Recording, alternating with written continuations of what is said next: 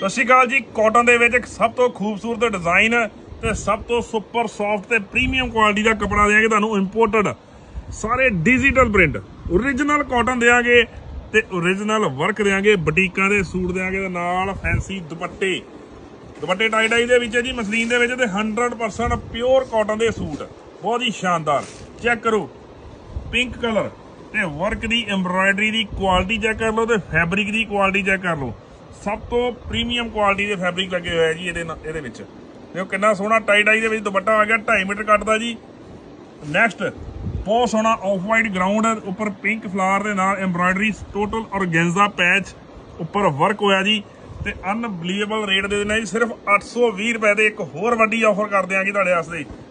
820 ਰੁਪਏ ਤੇ ਸ਼ਿਪਿੰਗ ਜਿਹੜੀ ਆ ਫ੍ਰੀ ਕਰਦੀ ਆ ਜੀ ਤੁਹਾਡੇ ਵਾਸਤੇ।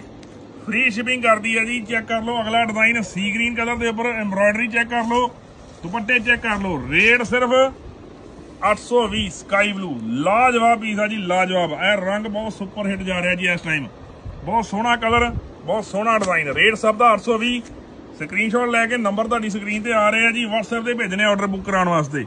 ਚੈੱਕ ਕਰ ਲਓ ਕਿੰਨਾ ਸ਼ਾਨਦਾਰ ਪੀਸ ਹੈ ਵੀ।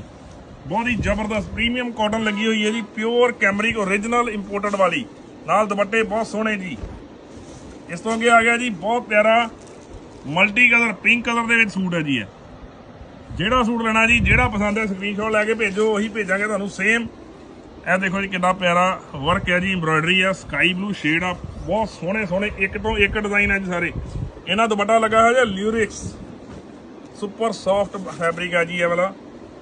ਇਸ ਤੋਂ ਅੱਗੇ ਆ ਗਿਆ ਵਾਈਨ ਬਿਊਟੀਫੁਲ ਡਿਜ਼ਾਈਨ ਆ ਬਿਊਟੀਫੁਲ ਡਿਜ਼ਾਈਨ ਵੱਡੇ ਫਲਾਵਰ ਦੇ ਵਿੱਚ ਆ ਜੀ, ਇਹ ਪਿਓਰ origignal ਕਾਟਨ ਇਹ ਵਾਲਾ ਡਿਜ਼ਾਈਨ ਖਾਸ ਆ ਜੀ ਸਪੈਸ਼ਲ ਆ। ਇਹ ਜਾਮ ਕਾਟਨ ਦਾ ਡਿਜ਼ਾਈਨ ਆ। ਜਾਮ ਕਾਟਨ ਤੇ ਬਣ ਕੇ ਆਇਆ ਸੀ। ਮਹਿੰਗਾ ਕਪੜਾ ਵੀ ਵਿੱਚੇ ਲਾਤਾ ਜੀ ਅਸੀਂ।